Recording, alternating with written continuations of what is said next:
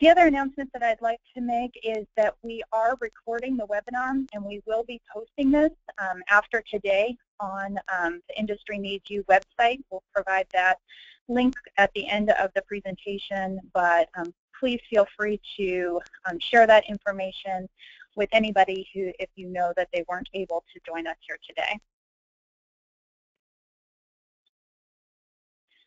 Okay, well with that, I think we'll go ahead and get started. Um, first of all, I wanted to just give an overview of um, what we hope to do today. Um, first, we want to give a brief overview of apprenticeships and the benefits of apprenticeships. I know many of you are involved with apprenticeships or have been learning more about it, but I thought just doing a, a brief primer on the topic would be a good way to start out. Then we'd like to give you an overview of the Greater OH-PENN Apprenticeship Network grant project. Uh, so, you know, at the onset of this five-year project, we wanted to remind everybody of what we said we were going to do within the grant proposal and make sure everybody's on the same page as we get started. We'll also review roles and responsibilities and discuss how you can be involved and your organization can be involved.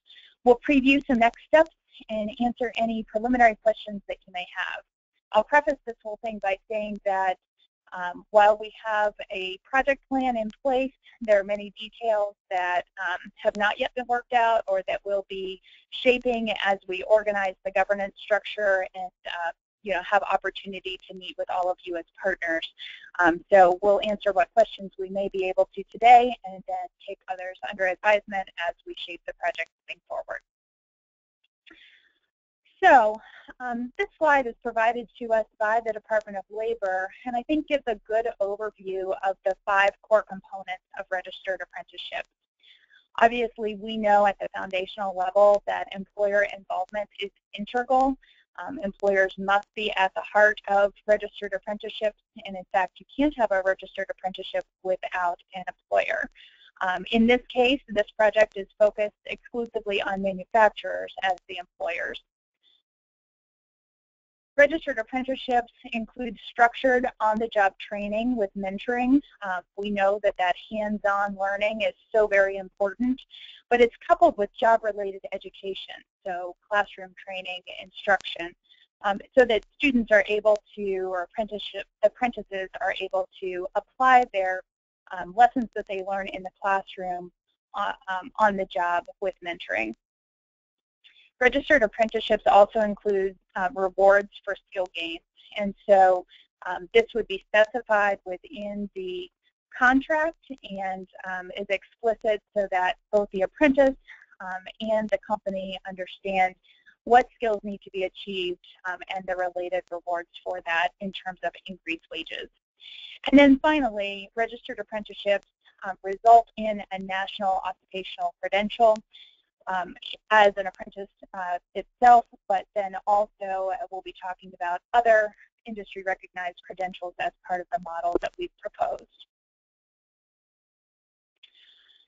So, um, you know, I think we've recognized this as um, uh, an effective model, which is why the sector partnerships that are involved chose to pursue this opportunity.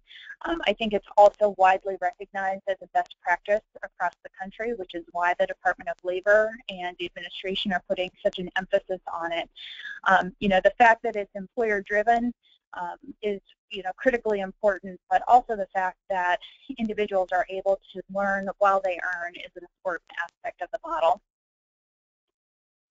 Apprenticeships are really good for business, and so you can see some of the many benefits to manufacturers listed on your screen. Uh, you know, it, I think these are um, proven benefits, and uh, we're hopeful through this project that many more manufacturers through our, throughout our region are able to experience these benefits. The American Apprenticeship Initiative is um, the name of the award um, that was given to the Greater OH-PENN Network. Um, and uh, there are actually 46 awardees across the country. Um, for our particular award, what we said that we would do is to address specific skills gaps by increasing manufacturing apprenticeships. Um, we'll do this in a number of ways, which we'll get into in more detail in just a minute but providing um, additional support, incentives, outreach and education to manufacturers to make it feel more accessible and more doable um, is really kind of at the heart of our model. Um, we also are going to be um, offering targeted recruitment um, to workers from specific demographics, and we'll talk about those targeted populations also in a moment. And then increase education providers' capacity to provide more agile and responsive related technical instruction, that classroom uh, instruction that we just mentioned as part of, um, part of every apprenticeship.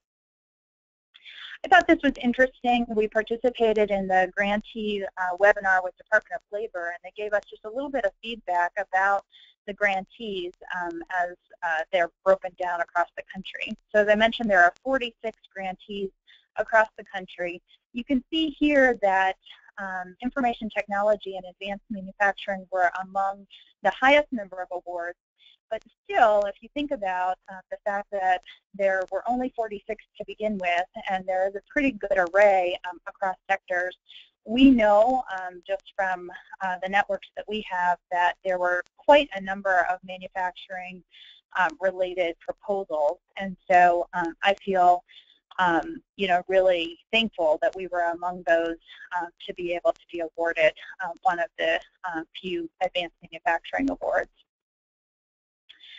So this is really, um, you know, I think probably one of the most important slides because it gives you a sense of um, the specific gaps and barriers that we set out to address within our um, within our apprenticeship grant proposal, and then the solutions that we proposed.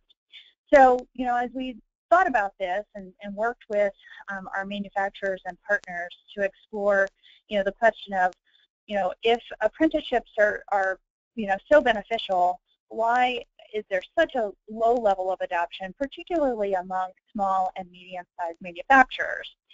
And so as we talked about that uh, with manufacturers, both who have uh, adopted apprenticeships and those who have not yet, these were some of the gaps and barriers that we identified. So first, um, I think manufacturers are a bit uncertain about the return on investment. Um, you know, there it, it does take um, an investment and a commitment, um, and we've heard from those who are involved that there certainly is um, benefit and return, which is why they're doing it, and they are willing to help us to spread the word. But I think in order to address this, we'll need to do several things. And so that takes you over to the innovation solution, innovative solutions um, column there. So through this grant project, we'll develop uh, an ROI model and then um, related outreach materials and messages to help us to get the word out to other manufacturers about the significant return on investment. We also have included within the budget employer reimbursements to encourage manufacturer participation and to offset the costs involved, particularly as related to the um, classroom training portion. And then finally, we know that um, it's most effective for manufacturers to talk to manufacturers about their experience, and so we'll be facilitating a peer-to-peer -peer outreach approach.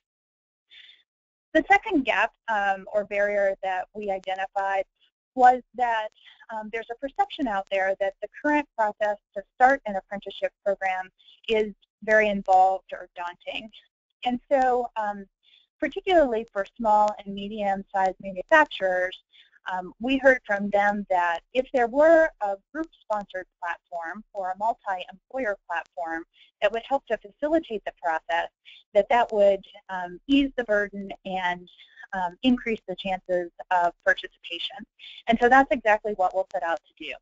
Um, I think, you know, many of us are familiar with um, what some of the unions, for example, have done with their apprenticeship programs. So in this case, um, instead of the, um, you know, electrical uh, union serving as the group sponsor, um, in this case, the Mahoning Valley Manufacturers Coalition will serve as the sponsor um, to recruit and screen applicants, to register um, the apprenticeship model itself, to develop joint curricula, all on behalf of a group of manufacturers who are all interested in the same occupational um, focus for an apprenticeship. So hopefully easing that burden and making it um, easier to participate. We also hear um, from time to time that apprenticeship programs are perceived as long programs with rigid requirements.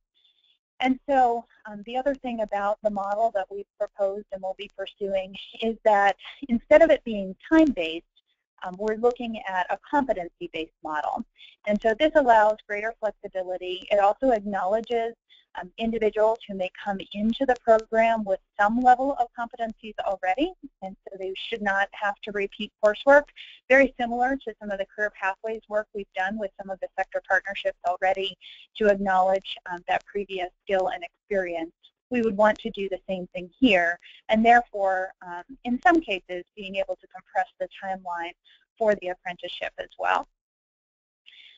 We heard that um, many times uh, individuals lack the basic and soft skills that um, and that prevents them from entering into manufacturing career pathways. Um, this is true of individuals who want to enter um, directly into employment or who want to get advanced training, and in this case, um, for those who want to enter directly into apprenticeships. And so our solution there is a pre-apprenticeship program that will leverage partner resources. Um, there are pockets of activity around um, this idea of manufacturing readiness or pre-apprenticeship already throughout the greater OH-PENN region, and we'll talk about that again here in a minute, but that's going to be an important part of our model as well. We um, have heard that there are low levels of participation in apprenticeship programs from targeted populations. Um, and you'll see some of those targeted populations under the solutions comment uh, column. So, you know, here we have um, identified and um, will be targeting veterans um, and transitioning service members, the low-skilled population, women and minorities, and transitioning foster children. And so we'll be um, organizing targeted recruitment efforts, a grassroots approach using community-based organizations and other networks of partners that are on this um, session today and others that we'll be reaching out to in order to um, outreach to these populations and hopefully attract and recruit them into the pipeline. And lastly, um, we heard from those who are offering apprenticeships that the related technical instruction, that classroom um, training component, um, that those offerings, while um, of a good quality, were um, many times provided um, sporadically and also at times and places that weren't necessarily conducive to the apprentices themselves. Um, so difficult to get a critical mass to have an in-person uh, cohort. And so um, our solution to that is to offer modularized and flexible um, classroom training um, offerings throughout the region with content also that's better aligned to manufacturers' needs and industry credentials. So we will be working with education and training providers on that solution. So just a reminder of the footprint that we'll be using um, for this grant project. Um, this is uh, involving two states, as the greater OH-PENN region would suggest. Um, there are five workforce boards, and you'll see those listed. So um, if you're looking at the map, uh, the Northwest Pennsylvania Workforce Board is in blue and covers six counties. Um, the uh, West Central Job Partnership is in the reddish color and uh, involves Lawrence and Mercer counties. You'll see um, what's known as the GAP, or Geauga, Ashtabula, and Portage in green, Trumbull in yellow, and then um, the Mahoning and Columbiana Training Association, or MCTA, in orange. So we cover 14 counties and um, uh, a number of sector partnerships as well. And this really drove um, the selection of that map. So you can see here that we have five sector partnerships that are involved in this effort. Um, the first is the Mahoning Valley Manufacturers Coalition um, that involves three counties that are listed there on your screen. Um, we also have the industry partners of Lawrence and Mercer counties, and together those two groups have been working um, together collaboratively under the OH-PENN Manufacturing Collaborative umbrella over the past several years um, and have been supported by another Department of Labor grant um, through the Workforce Innovation Fund that has allowed um, some of the foundational work that was um, you know, important when laying out the career pathway for this grant proposal. We also have the Northwest Pennsylvania Industry Partners, or the Advanced Diversified um, Manufacturing Partnership. Um, and that group has been working in the apprenticeship space over the past couple of years, and I think we can learn from some of the work and experience that they have undertaken. So we're excited um, to bring them into the mix, as well as the Erie Regional Manufacturer Partnership, um, focused primarily in Erie County at the moment. Um, this group is replicating the MVMC model um, and involves 20 very committed um, founding member companies and um, they're very interested in apprenticeships as a core focus of their work. And then finally, the Portage County Manufacturers Coalition, which also replicated the MVMC model, um, located in Portage primarily, um, but also will serve, I think, as the hub to bring in Ashtabula and Geauga counties as well. We had many, many um, partners, uh, many of you on the phone who signed on to the grant um, project. And so in addition to the sector partnerships, we're very fortunate to have both state apprenticeship councils and the related state agencies who are very supportive. Um, we've also already reached out to both states um, apprenticeship leadership who are very supportive of this. Um, they're starting to, and I think had a relationship um, prior to this, but starting to talk to each other across state lines and um, are very interested in working closely with us as we develop this model. We've had great support from the local workforce boards, um, the Career Link, and the Ohio Means Jobs offices, um, and the state agencies as well. Um, many of the education and training providers, many of you again on the line, um, some of you have been um, working with apprenticeship programs for a long time. Others are, you know, taking the opportunity to learn more about it, and we'll um, look forward to working hand in hand with you um, as we look at some of these competency-based models and some of the implications on the related technical instruction. The Adult Basic Literacy and Education, or sometimes known as ABLE partners, um, came to the table right away. Um, some of them on uh, just a little bit of information, uh, yeah, and we're willing to sign on, but uh, we're grateful for that. And they'll play an important role, I believe, in the pre-apprenticeship program in bringing um, individuals up to speed on their basic skills. And so we've had some uh, preliminary conversations with several. Um, we've got strong relationships in some parts of the geography, and we're looking forward to creating additional relationships with others. Community-based organizations also are going to be important to us in providing wraparound services uh, to those pre-apprenticeship participants um, as well as some of that grassroots outreach that I mentioned earlier. And the same is true um, for the United Way. Um, we had, uh, again, several letters of commitment um, from United Way. I think that they um, largely from county to county are interested in learning more about our work and um, supportive of the initial concept. And then finally, economic development and other business services uh, organizations who will help us to get the word out to um, additional manufacturers about the benefits of um, apprentices and bringing more to the table. We have state and national partners who signed on as well. Um, NIMS, as an example, um, the National Institute of Metalworking, um, the National Tooling and Machining Association, which is very active in Northwest Pennsylvania and has um, done some of the work with the industry partners up there in um, some of their uh, apprenticeship models. The Manufacturing Institute, which is the nonprofit arm of the National Association of Manufacturing, and um, several others, including a lot of the um, National Manufacturing Innovation Institutes in lightweighting, digital manufacturing, um, additive uh, in the case of America Makes, and then other um, business and manufacturer organizations, um, all of which are committed in informing content and also in distributing information out to their members and interested manufacturers about what we're doing and how they can be involved. So our goals um, as I said, our overarching goal is really to increase um, the uh, ability of manufacturers to meet their needs for highly skilled employees um, by increasing their use of registered apprenticeships. We also want to make sure that we're streamlining um, the process for uh, recruiting and assessing and pre-screening candidates um, and providing on-ramps to those career pathways, specifically in this case to apprenticeships, and then um, finally, to increase representation of those targeted populations that I mentioned earlier. We have several stated goals, so these are the metrics that um, DOL will be looking for us to achieve. Um, the first is that we uh, need to uh, create 300 new apprentices um, and have those registered by uh, year five of the project. And so you can see that we've allowed some ramp-up time. In this first year, what we envision is that those 25 apprentices I mean, I think we said maybe across eight or eight or so companies, um, although that number can vary.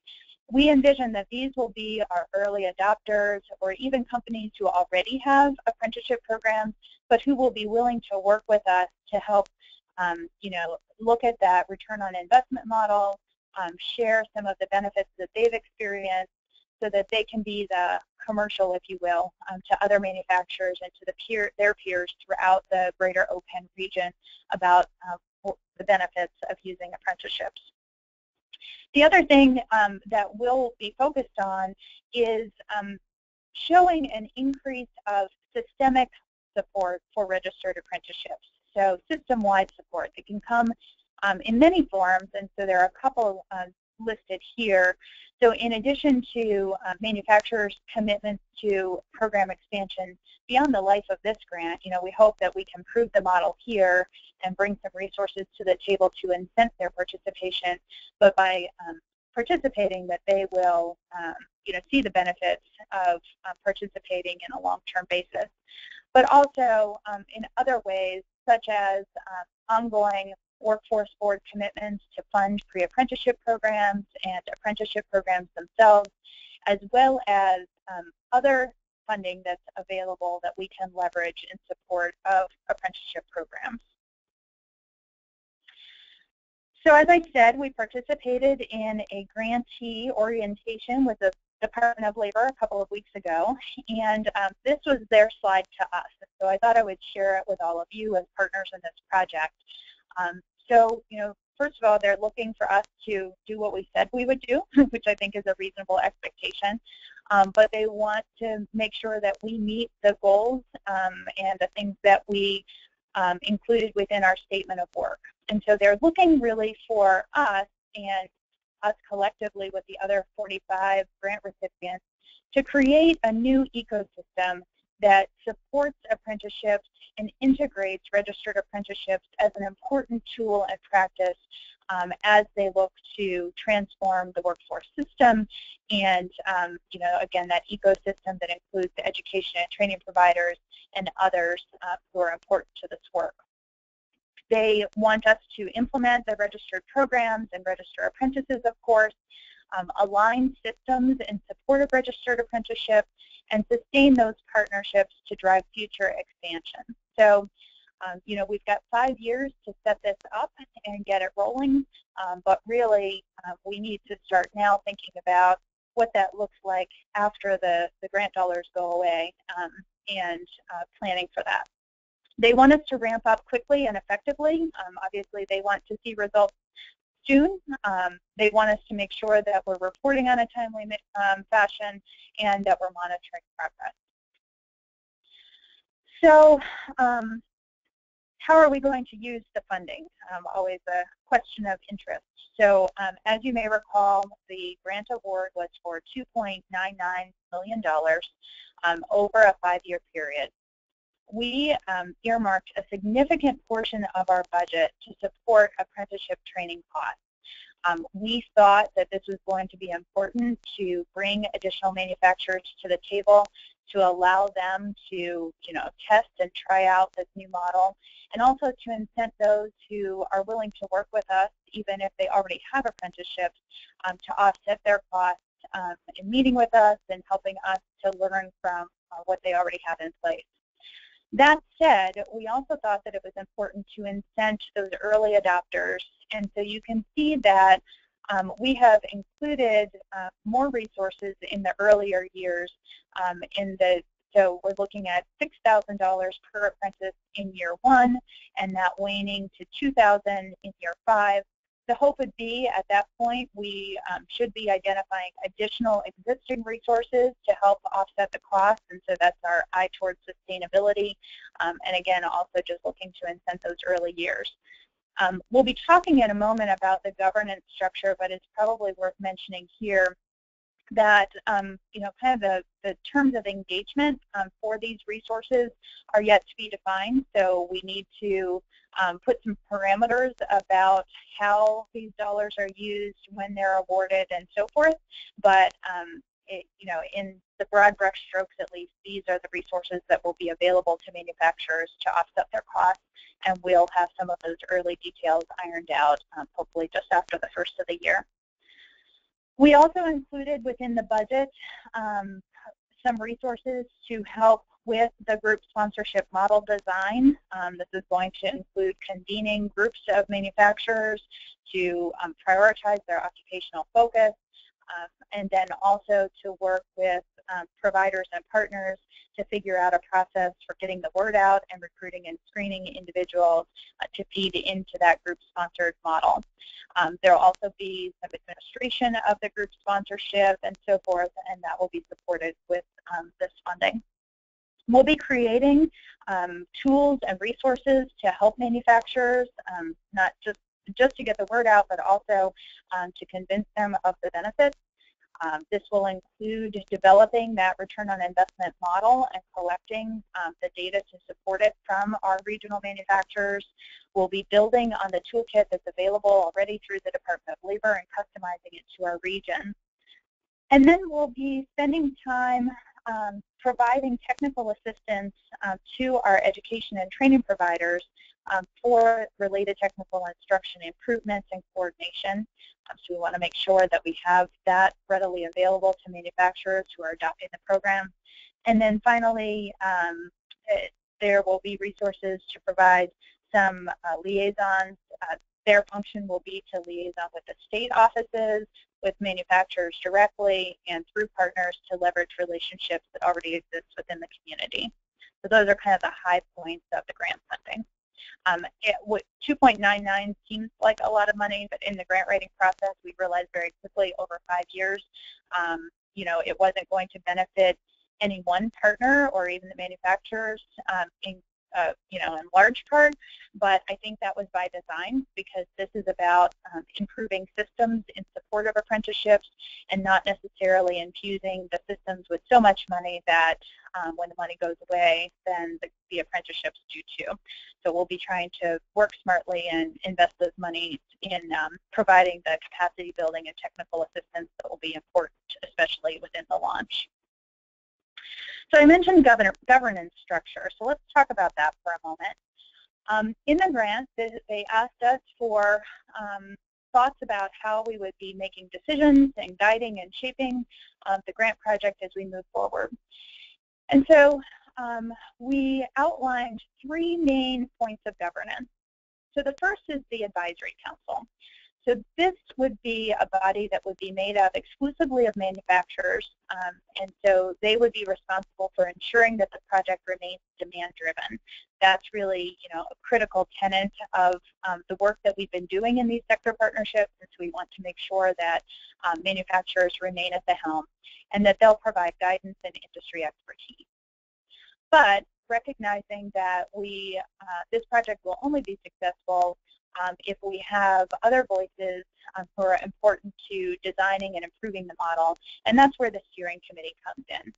They'll oversee the implementation of the project um, and specifically focus on the development and improvement of various aspects of the model. So um, we know that many of you have been um, testing things out and um, are interested in innovating along with us, so we'll need those voices at the steering committee level. And then finally, um, we will organize two action teams. Um, we're calling them work-based learning action teams, um, but essentially this would be the table where anyone who is interested in implementing um, or being involved in this model and this project will be able to come um, we'll focus on building and strengthening the relationships among the partners involved, um, but also this will be our feedback loop to figure out, you know, as we're testing things, um, you know, what's working and what's not working. And so um, we envision that one of these action teams will be situated uh, in the um, original kind of OH-PENN region, uh, Mahoning, Trumbull, Columbiana, Mercer Lawrence and um, others who are kind of attracted to that geography. And then another will be situated more in the kind of northern tier of things. And so we'll work with uh, that group to figure out what's the right geography and um, the right uh, venue and, and method. Um, envisioning in-person meetings and then probably also some virtual, um, depending upon the pleasure of the group. But um, we want to talk a little bit about the composition of these um, of these various points of governance, and um, we're going to ask you to put your thinking caps on, and um, this will be, you know, the first next step in the way that you can be involved. So um, the advisory council, as I said, is made up entirely of manufacturers, and um, the way that we have set it up, or that we explained it within the proposal, is that we would have two manufacturing representatives from each one of the five sector partnerships that I mentioned earlier.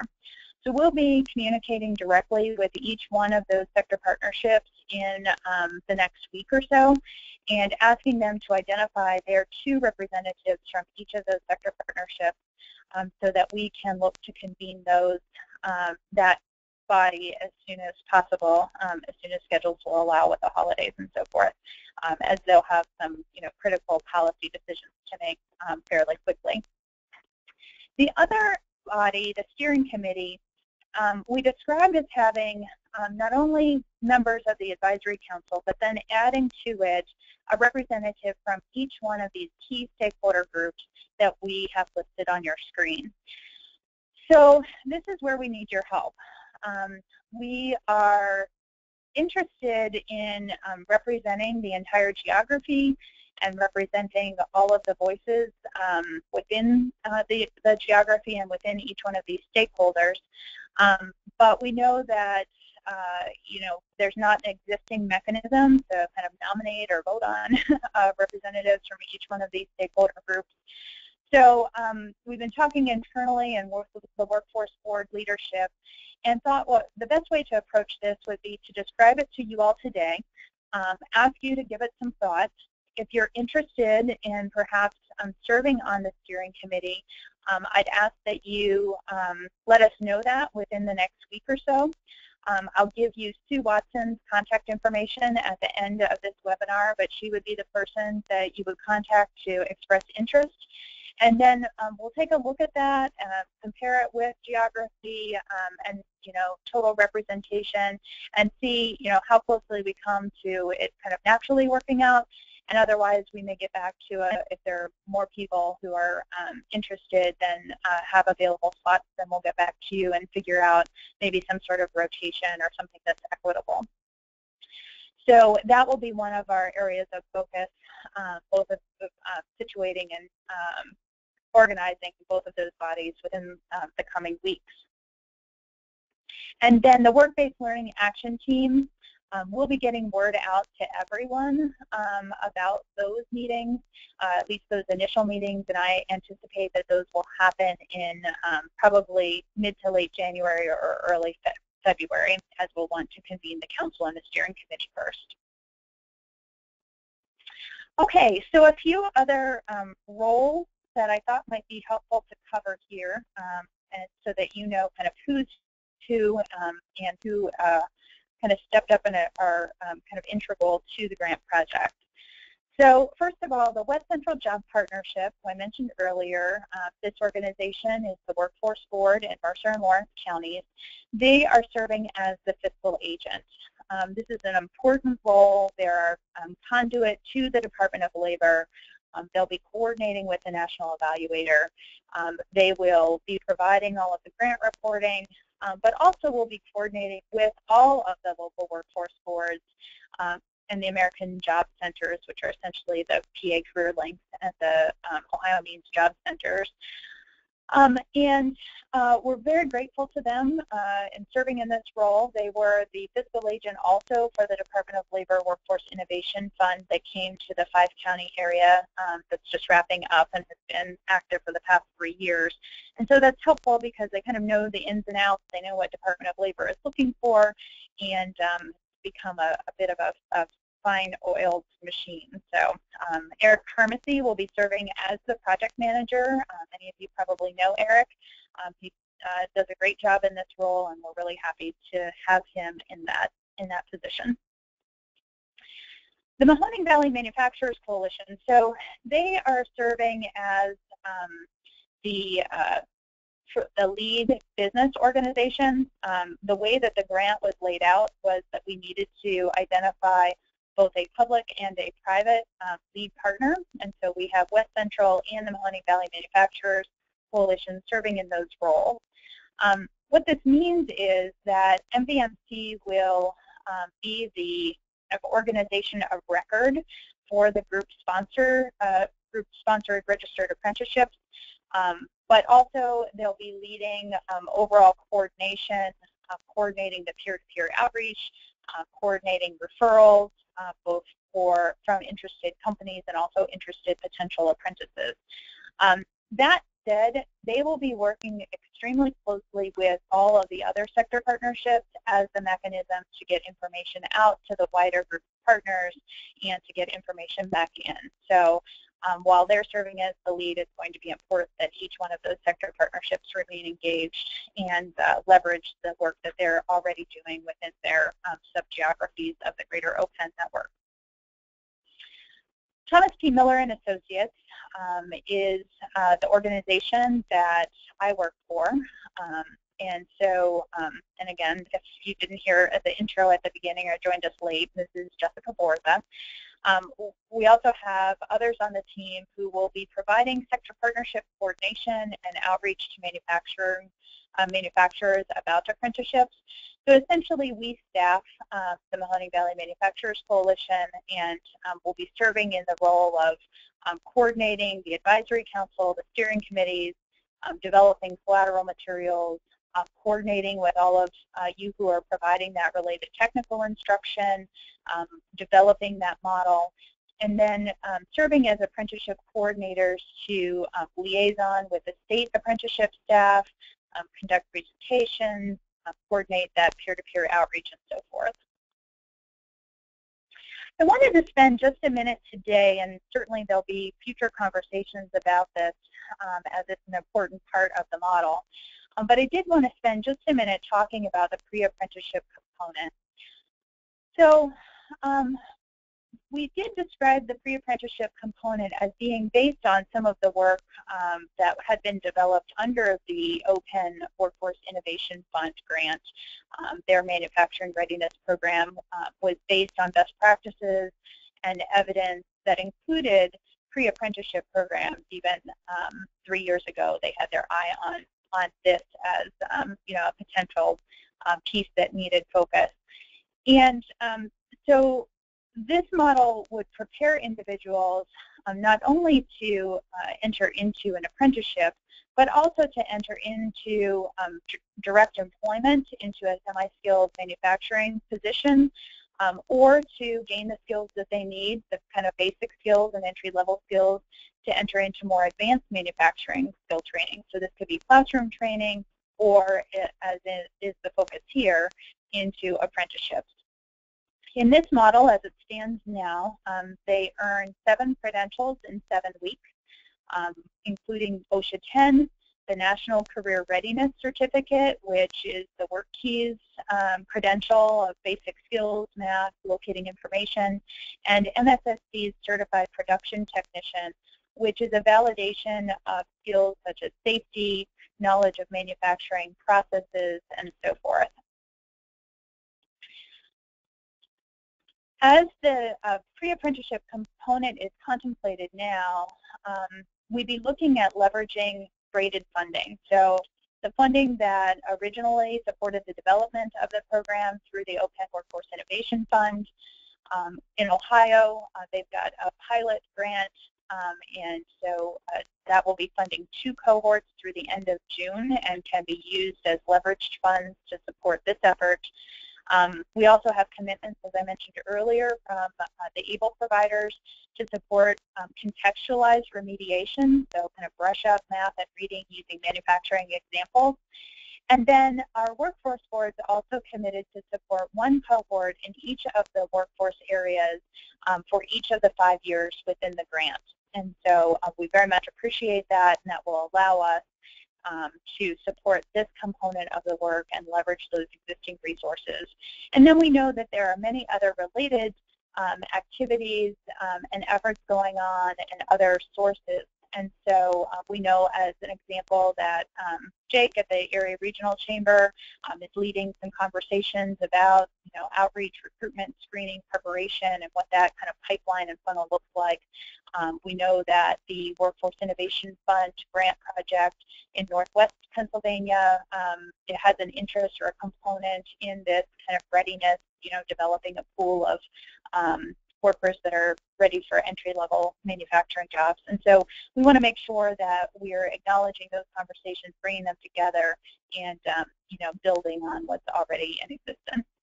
So there'll be many more conversations about this, uh, presumably at the action team level. Just wanted to acknowledge that, uh, acknowledge those efforts and let you know at least our initial thinking about that. Okay, so um, just to kind of round out our time together before we get into questions and answers, um, let me talk just for a moment about next steps. So um, first of all, I think most importantly, uh, we are going to be focused on solidifying the governance structure that I described. So if you are interested in serving on the steering committee, if you fall into one of those stakeholder groups, here is Sue Watson's contact information. Um, I just ask that you shoot her an email and let her know of your interest.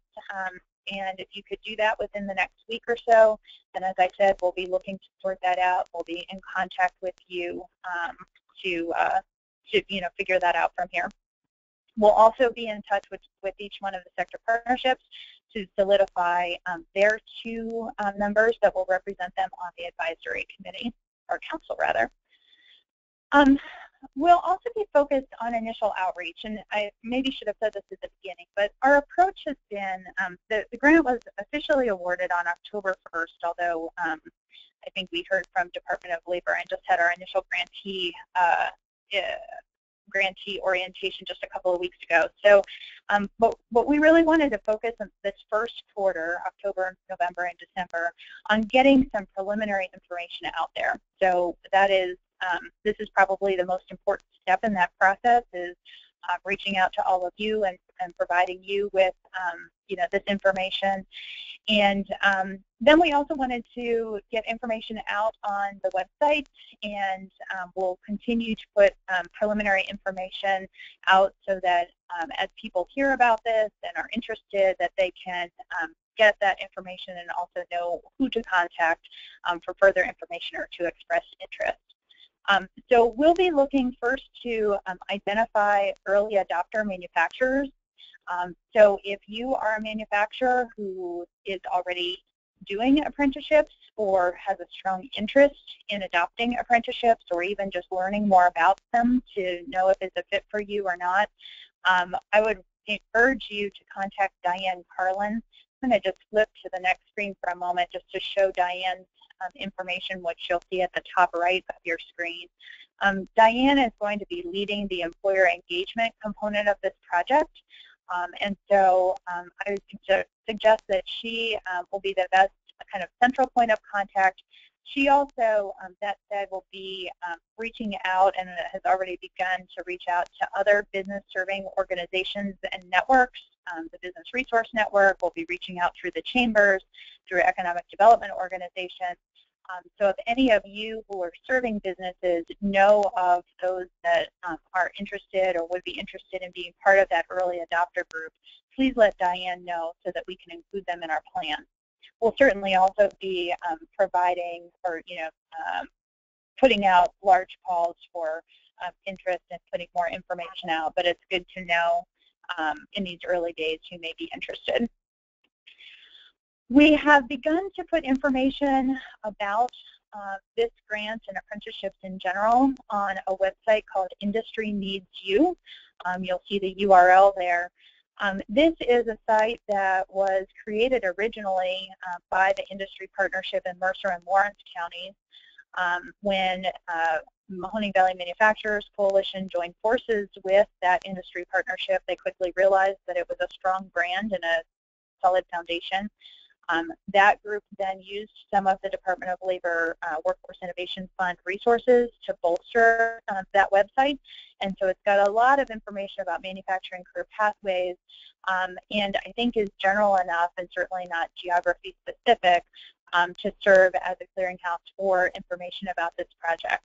Um, and it's paid for, so we can leverage that as a resource. So you can take a look at that. Um, we will also be adding information and reaching out to the other sector partnerships to add their brands um, to that site. And so that's another point of focus for um, the coming month or two to make sure that they're strongly represented. And then finally, um, we'd ask you to help us by cross-promoting um, Industry Needs You, that page on Facebook and other social media, and so we'll get that out to you. You can take a look. We know many of you have strong followings, and um, so you can help us as we promote apprenticeships um, on Facebook and LinkedIn and other social media. And then finally, maybe not finally, but at least the final thing that I'll highlight in terms of our next step um, is beginning to um, develop the model. Um, as I mentioned, uh, we've been in touch already with both of the state agencies.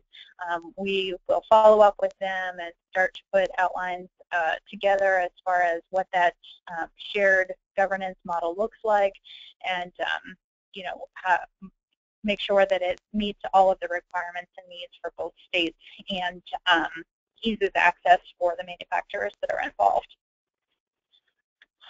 The last thing that I um, want to mention before we um, answer some of the questions that you shared um, throughout the course of the webinar is just some contact information for our project team.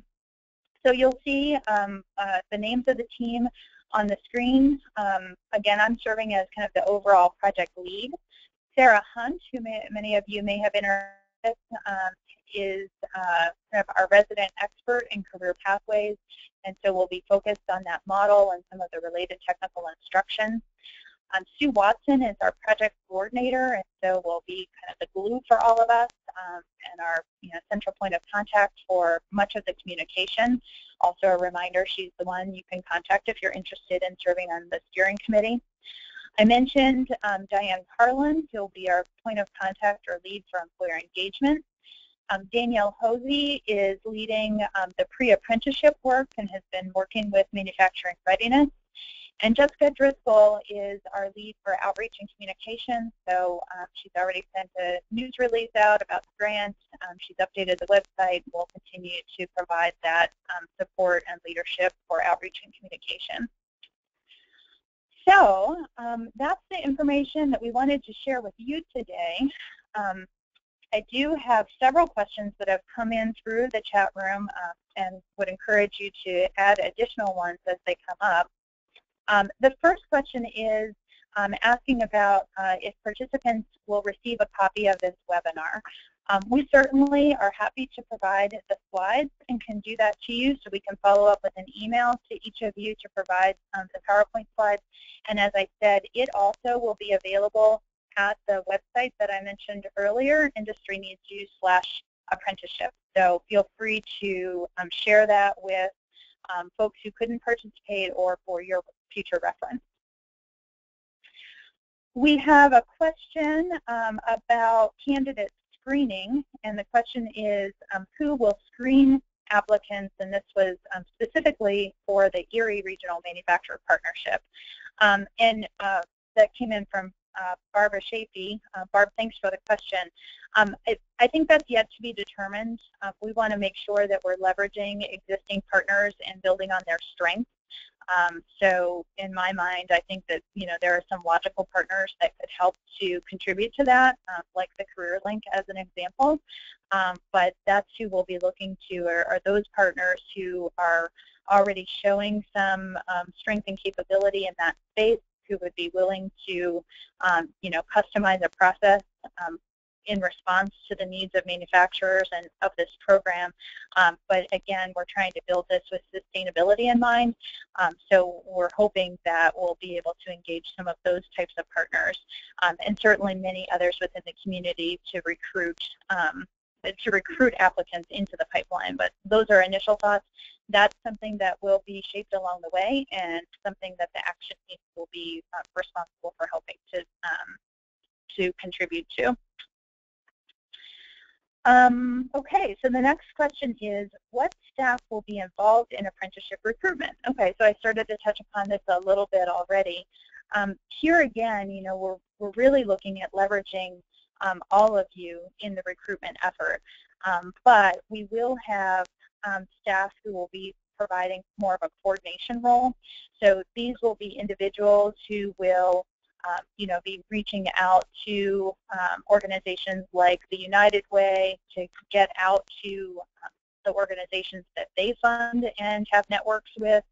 Um, we know that there are many other community-based organizations um, who are doing great work and would have natural networks um, to reach into the communities and help with recruitment. And so um, we at TPMA at, uh, in our coordination role will be helping to coordinate that, but in terms of staff, there, you know, we'll be looking to leverage partners um, in doing that as well. Okay, next question is, um, if a company is interested in enrolling in uh, the apprenticeship initiative, who should they contact? Um, and again, I'll go back to Diane Carlin. So um, at this point, Diane, again, will be the central point of contact, and so you can see her information there on the screen. And it's not too early, even though we don't have the process you know, completely ironed out. Um, I think, as I said, the uh, initial meeting of the um, council in, um, you know, late this year will be important, and so I think by January we'll be ready to roll.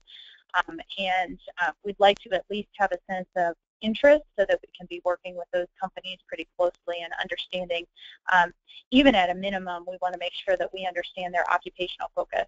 By the way, um, we did have, Watson led the efforts of um, coordinating and collecting all of the letters of commitment during the grant writing process, um, which was a huge undertaking, but um, we really had our manufacturers step up and commit and so while um, we know that our minimum number of slots is 300, I think our um, commitments um, exceeded that by, by a, a, a fair amount.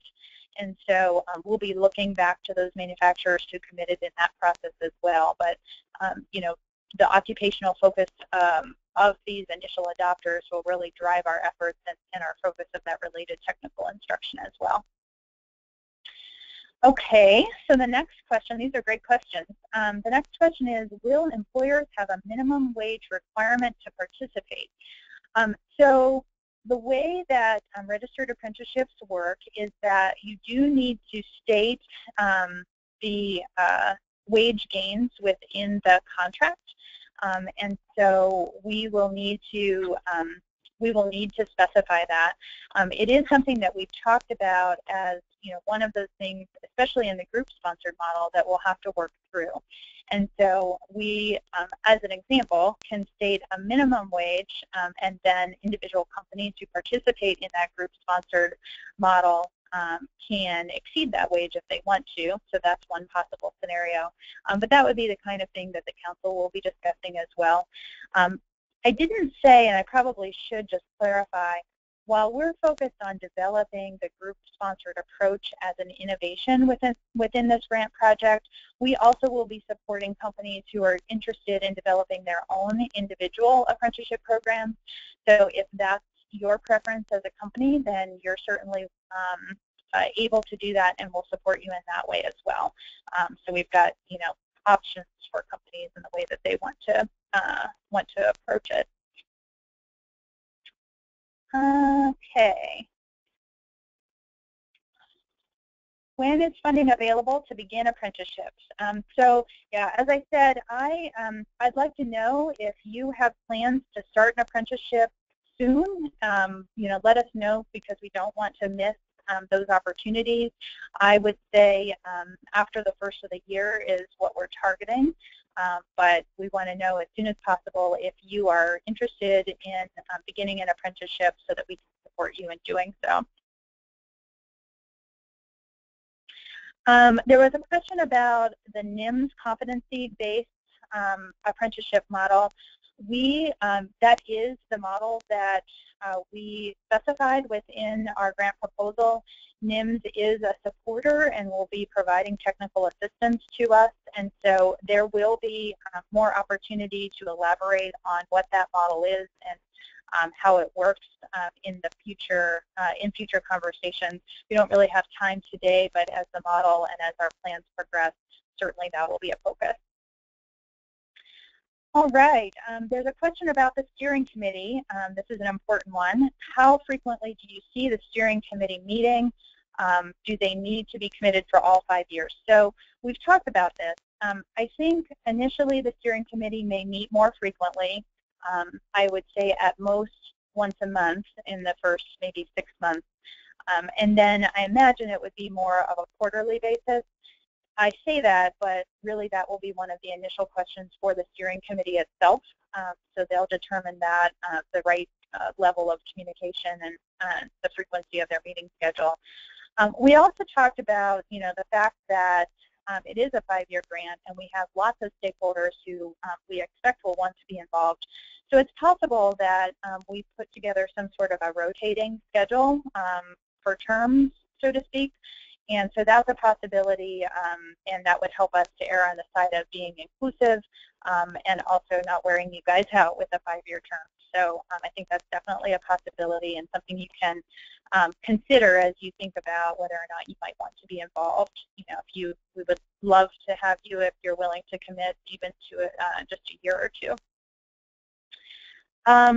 Next question is, do companies need to be members of the industry partnerships to participate? Um, so we certainly would like to see um, members of the sector partnerships who supported this effort um, participate and benefit and adopt this as a way to meet their skill needs. Um, but um, we haven't stated that as a requirement.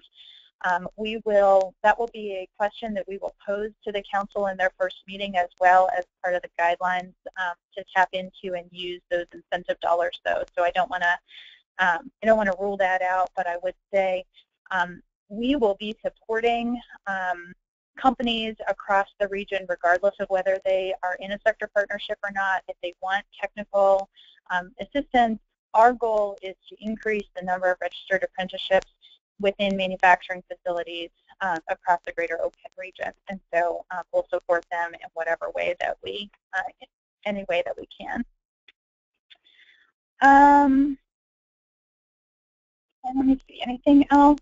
Looks like we're um, running short on time, so maybe just one more question, and that is, is the grant funding model strictly for new hires um, or do they pertain to a current employer? Oh, very, very important question. So um, the grant funding is not strictly for new hires. Um, we do have some goals of um, percentages of new hires that we'd like to see participate, but um, the majority of funding actually is earmarked for employees to upskill, or employers, I should say, to upskill their current employees. So if you have employees who show promise who you think would make a great journey person, um, then we would um, certainly support that with the grant funding. And the hope would be that then you'd be able to backfill with a, an entry-level person um, or you know just upskill um, and create those internal career pathways. So uh, great question, um, and yes, that money is available for new hires or existing employees. Great question. Thank you guys so much. Um, well, I'm sorry, I feel like, well, I did talk this the whole time, but um, I appreciate um, the great questions, um, and I'm really excited to begin this journey with all of you, and um, I look forward to having opportunities to meet um, and actually have a, a, a, better dialogue and a more in-person format. Um, so we'll look forward to hearing from you about your interest in serving in those various capacities and we'll be in touch with more information. Uh, and I think things will really get rolling um, again after the first of the year. So um, get ready and um, please feel free to contact us in the meantime with your suggestions and questions. Um, that's what we're here for. So again, we appreciate your time this morning. Um, thank you very much and everybody have a great day.